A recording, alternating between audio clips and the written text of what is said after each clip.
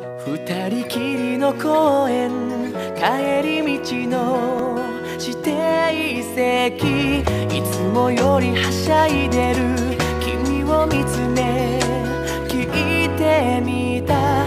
もしも明日世界がなくなったらどうする君は何も言わずに僕の腕を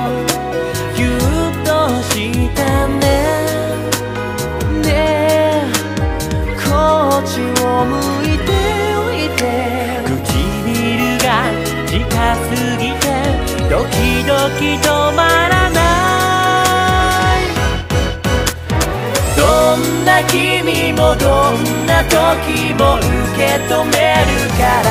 もしも心が傷ついて涙こぼれる時は世界中を敵にしても君を守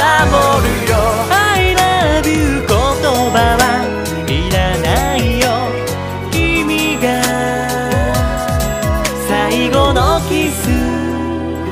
いつまで